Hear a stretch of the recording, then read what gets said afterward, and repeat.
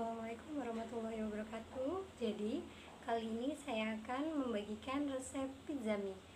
Tonton video selanjutnya ya. Terima kasih.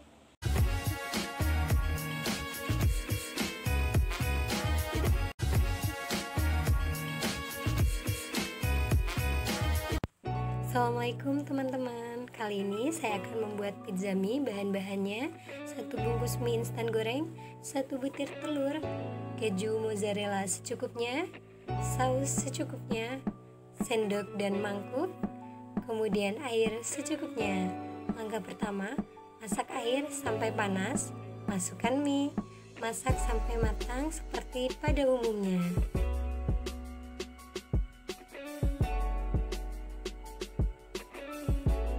tunggu matang. Jangan lupa diaduk-aduk ya teman-teman. Setelah matang tiriskan. Tahap kedua telur dan bumbu mie dijadikan satu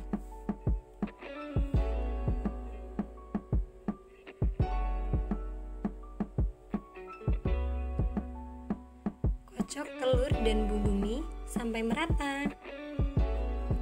Lalu masukkan mie yang sudah kita masak tadi. Aduk kembali sampai tercampur merata. Bagi teman-teman yang suka pedas, teman-teman boleh menambahkan cabai atau sejenis boncap ya. Kemudian siapkan wajan dan saya menggunakan 2 sendok makan minyak tunggu panas. Setelah panas mie siap digoreng. Masukkan mie ke dalam wajan yang berisi minyak panas dan sedikit diratakan ya teman-teman.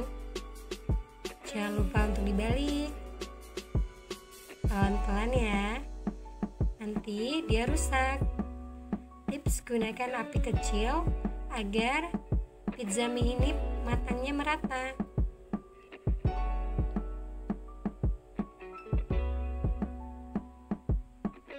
Setelah matang beri keju dan saus opsional ya kawan-kawan.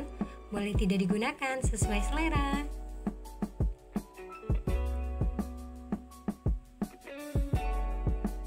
Jadi ini dia hasilnya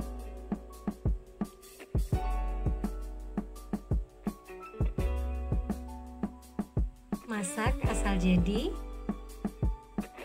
Masalah rasa pasti enak ya karena dia terbuat dari mie dan telur. Ini adalah pizza mie ala Rasidawati. Jangan lupa teman-teman boleh mencoba sesuai kreasi teman-teman ya. Terima kasih. Wassalamualaikum warahmatullahi wabarakatuh